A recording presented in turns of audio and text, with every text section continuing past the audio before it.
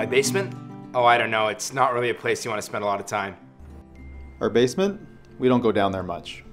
It just feels so damp. My basement? That's terrible. It's good for storage, but that's about it. It's cold and it's dark and it's damp. It's not really usable, so nobody really goes down there. It's cold and damp all the time, but we really need the space for more than just storage. Really, it's almost half of our home, so it only makes sense that we do something with it. Okay, so just through here and we'll head downstairs.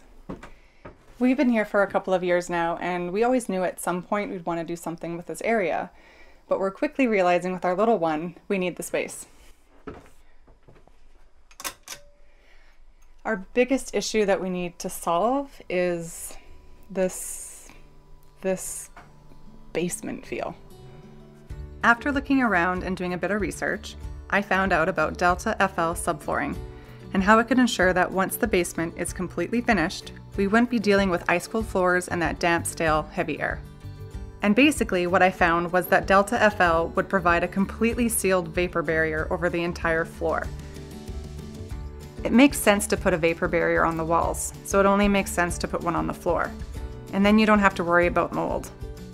See, the subflooring creates some lift from the concrete, so that moisture that seeps up from beneath the floor and makes your feet kind of cold and that air kind of stinky isn't able to get into the room. The coolest thing I found about this is how easy it is to install. It's light and it doesn't require any tools that you wouldn't already have kicking around. According to the instructions, there are really just three easy steps. See, check it out. The difference between this and some of the other subfloors is this. It's what makes this a perfect vapor barrier.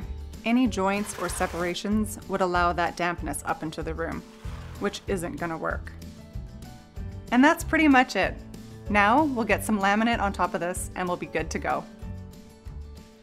Uh, so we couldn't be happier. it's so much extra space and you almost forget that you're in a basement. It's dry, it's comfortable, it's awesome.